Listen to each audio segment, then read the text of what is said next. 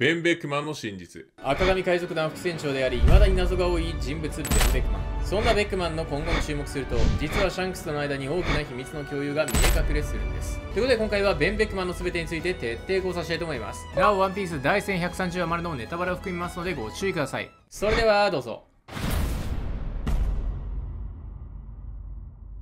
赤髪海賊団副船長のベンベックマン。ワンピース第1話から登場しているものの、その全容はまだ明かされていません。船長のシャンクスを補佐する右腕的存在で、時にはシャンクスの気持ちを汲んで行動する大人な一面も持ち合わせています。そんなベンベックマンの外見は作中でも屈指の愛煙家のようで、ほぼ全ての登場シーンでくわえタバコをしているのが特徴のベンベックマン。12年前にルフィと出会った頃は黒髪でしたが、現在では白髪で、昔はなかった左側の頭部に十字傷が増えています。そんなベンベックマンの人物像は、常に冷静沈着で頭の回転が速く、第8巻の SBS では、作中で最も IQ が高い人物として紹介されています。また山賊ヒグマの手下を撃ち殺した時には卑怯だと罵られると甘えこと言ってんじゃねえ聖者でも相手にしてるつもりかと堂々と言い放ち海賊としての風格も見せつけていましたよね。また劇場版フィルムレッドで配布されたワンピース40億巻によるとかなりのプレイボーイとのこと。正直ベンベックマンは硬派なイメージがあったので意外ですよね。牛と一戦やりたきゃ軍艦でも引っ張ってくるんだな。そしてベンベックマンが全力で戦闘している描写はなく強さの指標となる懸賞金額は今のところ明かされていません。しかし第957話で海軍が赤髪海賊団の幹部たちが個々に名を挙げていると高評価してましたよね。高い懸賞金アベレージを誇る最もバランスのいい鉄壁の海賊団。さらに歴代四皇の幹部の中で副船長の肩書きを持つのはですねベンベックマンとモージのみ。ゾロもカタクリもマルコもキングもシリュウも違っています。つまりですね四皇の幹部の中では最も懸賞金が高い赤髪海賊団である。赤髪海賊団の副船長はベンベックマンである。しかも海賊団のアベレージを釣り上げている懸賞金額ということでおそらくベンベックマンは20億ベリー前後と予想します。また、ベンベックマンの愛用の武器はですね、第1話から使用しているフリントロック式のライフルです。格下のヒグマ一味との戦いでは、銃をドンキ代わりに大出して使っていました。しかし、マリンフォードの頂上戦争では、キザルに対してですね、銃口を突きつけて忠告。何もするな、キザル。キザルはですね、現在登場しているキャラの中でもトップクラスに高速移動が可能なキャラの上、両者の間はですね、かなり距離が離れていました。それにもかかわらず、キザルはベンベックマンの中古に従っていたことから、少なくとも本気で銃を使えば、ベンベックマンはキザルに匹敵する実力の持ち主であることは間違いないでしょう。そして、キザルの高速スピードに対抗する手段。つまり当然覇気が使えてこの銃と組み合わせることでキザルのスピードをも凌駕できる可能性があるんです。そうなるとですねベンベックマンは見聞色の覇気のかなりの使い手ということになるでしょう。また劇場版レッドではエレジアに集まった貨幣が撃った銃弾を一般市民に当たらないようにと武装色の覇気を使って防御していたことから武装色の覇気も使いこなすことができます。また40億巻によるとベックマンの戦闘スタイルは弾丸プラス覇気貫通と記載。実際にフィルムレッド劇中の戦闘描写においてもベックマンは黒く輝く弾丸を放っていますかつて俺たちは大頭赤髪に一目会うこともできず、完膚なきまでに叩きのめされ、お前は片腕を奪われた。敵はきっとお怒りだぞ。ベック、お前が言うな。恨まれてんのは誰だよ。第1076話のキラーの発言、そしてベックマンとルーの会話からキッドの左腕を奪ったのは、ベックマンである可能性が高い。ただですね、武装色の覇気をまとい、強度を上げただけの弾丸では、貫通して致命傷を負うことはあっても、体の一部が欠損するようなことは難しいと思います。そこでベックマンは覇気のまとい方を工夫していると推測でき、具体的には物体を大きく包み込むような覇気のまとい方をすることで、弾丸の攻撃範囲を広げている。というのもですね、第1080話でガープが見せたギャラクシーインパクト。これは覇王色の覇気のまとい方を工夫することで、広範囲攻撃を可能にしていると思います。そしてこの覇気のまとい方を変える技術について、2つの可能性が考えられます。まず1つ目はですね、覇王色の覇気に限ったものではなく、武装色の覇気でも使える可能性です。覇王色の覇気と武装色の覇気は、まとうことで攻撃の威力を高められるという点で共通しているため、そのまとい方や応用した技術についても似ている部分が多いのではないか。次の2つ目は、ベックマンが覇王色の覇気を持っており、ガープのように覇王色の覇気のまとい方を工夫することで弾丸の攻撃範囲を広げているという可能性です。赤髪海賊団と同じく4校である麦わらの一味のナンバー2のゾロやビッグモム海賊団のナンバー2の片栗が覇王色の覇気を使えていることからベックマンも使える可能性は十分にある。ロジャー、ルフィと同じ麦わら帽子をかぶった存在で、同じくですね、仲間を大切にする信念を掲げた男、シャンクス。尾田先生は明らかにロジャー、シャンクス、ルフィを同じ枠組みのキャラとして書き続けています。そんな輝かしい男を支えるナンバー2も、右腕としてどんな時も冷静沈着であるという共通点があるんです。ロジャーを支えたレイリーやルフィを支えるゾロのように、2人と大きく関わるシャンクスを支えるのはベン・ベックマン。では、ベックマンが今後の活躍として具体的に誰と戦うのか、これはつまり赤髪海賊団が今後どことぶつかるかということもつながってきます。表にまとめたんですがまず赤髪海賊団が今後ぶつかる相手は十中八九海賊団同士でしょう。なぜならシャンクスは第1054話ワンピースを目指して動き出したからです。もう少し言うとシャンクスは第907話で政府というよりも五老星とのつながりが明かされています。つまりなぜシャンクスが五老星とつながっていたのか。その理由が明かされない限り政府と表立って戦う描写はないと考察できるんです。このチャンネルをよく見ていただいている方ならご存知だと思いますがシャンクスと政府のつながりそしてフィィガーランド家についてはこれまで幾度となく考察したので今回は詳しい解説は割愛します。そうなるとどうしても赤髪海賊団がぶつかる相手は他の海賊団に絞られます。そう。つまり残る4校バギー率いるクロスギルドルフィ率いる麦わらの一味黒ひげ率いる黒ひげ海賊団です。まずクロスギルドとの対戦。赤髪海賊団がクロスギルドとぶつかる可能性は実はかなり高い。なぜならシャンクスとバギーは元ロジャー海賊団の同じ見習いという立場で現在はくしくも同じ4校という立場に成り上がってるからです。北極だ。いや南極だ。そして2人はお互いの意見が真反対で常に喧嘩していましたよね。ある意味友達の言い合いの延長ではありますが良きライバルとして書かれてきた以上白黒はっきりつけるには正々堂々ぶつかり合うのは物語の落としどころとしてもすっきりします。伝説と語り継ぐものも少なくね。お前と鷹の目との決闘の日々も俺の耳にはまだ新しい。そして434話で語られた通りミホークとの因縁がある。さらにこの辺りの根拠の他には第1121話のラストページの鏡合わせの見開きがあります。こちらはこの動画で詳しく考察しているので時間のある方はぜひご覧になってください。そしてクロスギルドとぶつかればベックマンが相手をするのはクロコダイルでしょうか。価値観の SBS では高い IQ を持つキャラとして小田先生はベックマンの名前を挙げてましたがクロコダイルも知性の高いキャラクターとして小田先生は描いています。元王下七武海サークロコダイル。健在のロギアの能力そして知力統率力に19億6500万ベリー。第1058話では海軍から破格の懸賞金をつけられている。もちろんこと戦闘力ならベックマンに分があるでしょう。ただクロスギルド設立の立役者であるクロコダイルなら正面切っての戦闘を避け知略を用いた対決として描かれるでしょうか。それに戦力としても今後クロスギルドはパワーアップするでしょう。なぜなら第1059話で黒ひげ海賊団に襲われその後女ヶ島を出港したと思われるファンコックのクジャ海賊団。さらには第1126話ではハチノスから逃げたモリアなど元七武海たちがクロスギルドに吸収される可能性は十分にあるからです。いくら元七武会の強者でも彼らが今後単独で政府や海軍さらに4校に君臨する海賊とも戦っていけるとは考えにくいです。そして4校の中では自分たちを攻撃した黒ひげはもちろん最近描写されている通り他の海賊に容赦のない赤髪海賊団とも合流するとは考えられません。となると残りは麦わらの一味かクロスギルドになるのですが麦わらの一味は韓国は問題ないにしろかつて敵対したモリアがルフィに頭を下げる形は想像しづらいです。どちらにせよ戦力補充という形から元大岡支部会たちがクロスギルドに合流する可能性は高い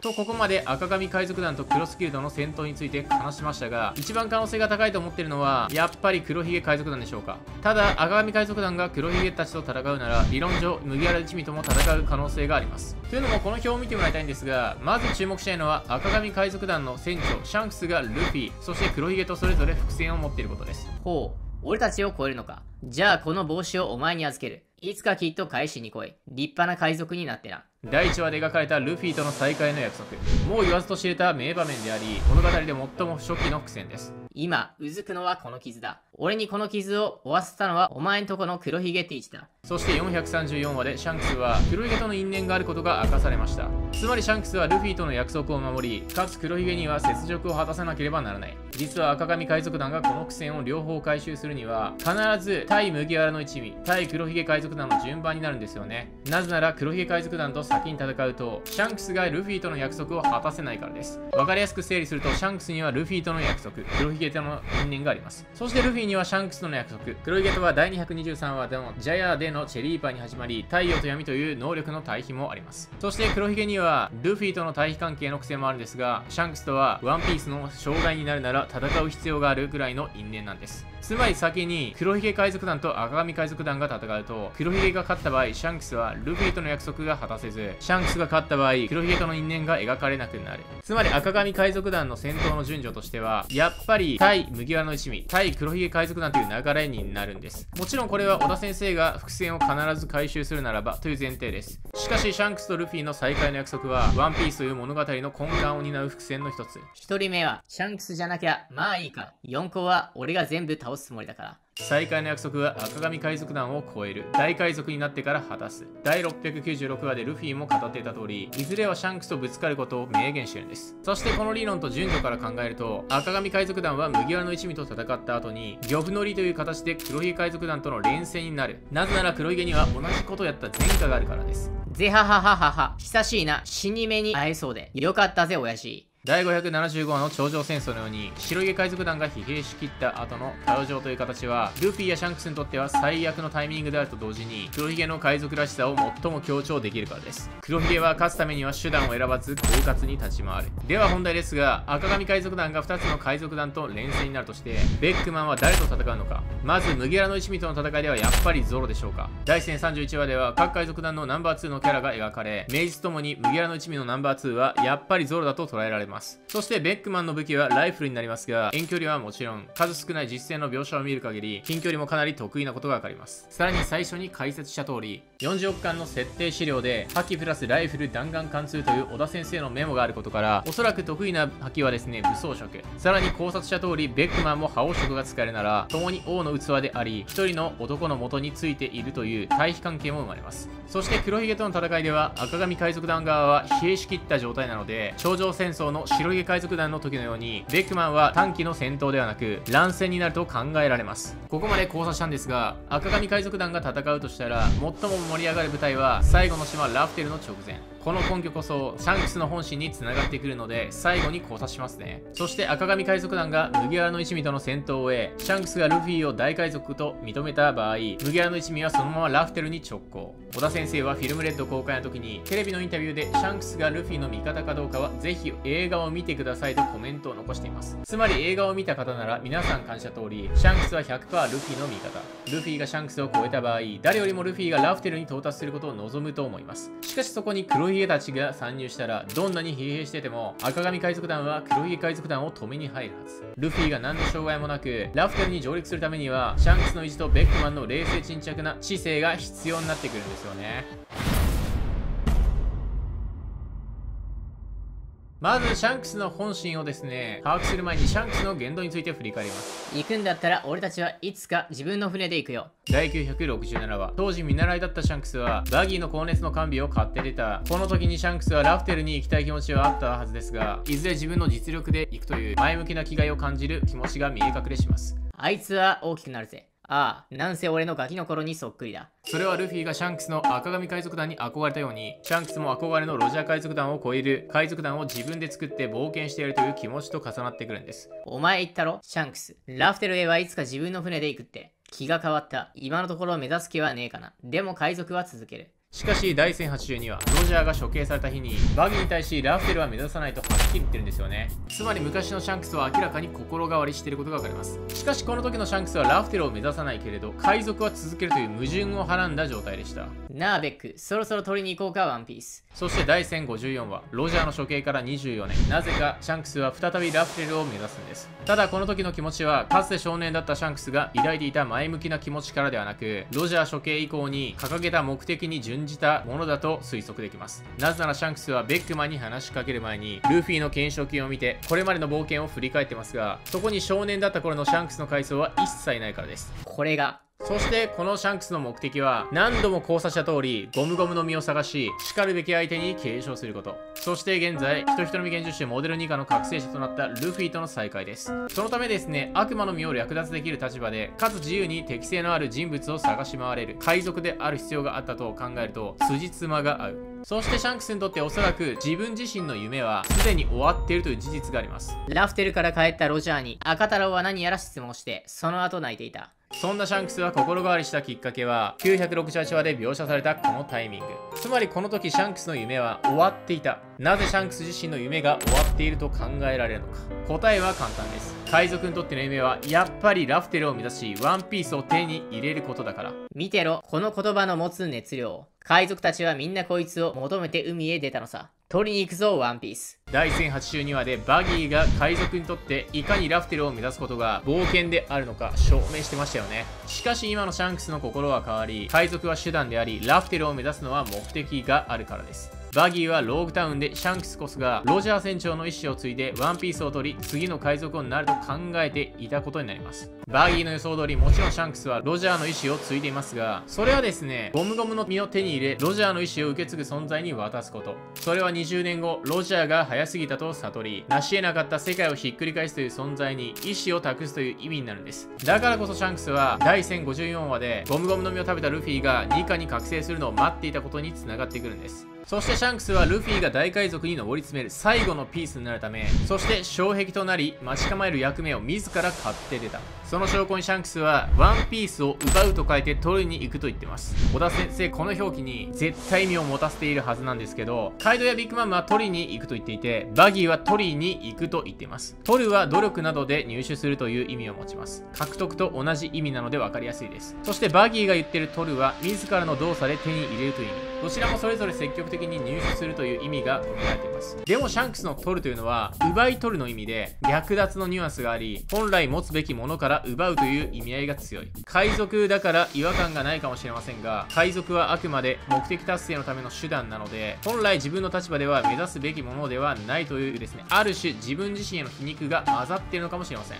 その証拠にシャンクスは四皇になって以来ずっと積極的な行動はせず他の海賊の動向を静観。そして事態が動きそうになった時に極力均衡を保とうとしていたんです。来たかルフィ。もうすぐ会えそうだなルフィ。そしてその理由はやっぱりルフィを待っていたから。実際ルフィがニカに覚醒してからシャンクスはようやく動き出しています。これこそがシャンクスの本心だと考察。そしておそらくシャンクスのこの本心を唯一知っている男が副船長のベン・ベックマンのみです。実際麦わらの一味をみんながワンピースを目指すという同じ方向を見て冒険。しかしそうは言っても組織の中でも様々な考えがありますよね。時には衝突する時もあります。そんな時トップと現場の人間それぞれの間に立ち組織を俯瞰してまとめる役が必要。実はこれこそがナンバー2に求められる能力です。ゾロはウォーターセブンで組織として海賊としてのけじめをトップであるルフィに確約させています。それがウソップからの謝罪。しかしルフィが本心ではウソップの帰還を望んでいることをゾロは知っていたんです。そしてですね赤髪海賊団。なあベックそろそろ取りに行こうかワンピース。第1054話でのこのセリフ。シャンクスは幹部たち全員ではなくあえてベックマンのみに伝えています。実際この時ルーやヤソップたち幹部はワノ国に上陸しルフィに会いたいという気持ちを前面に出していました。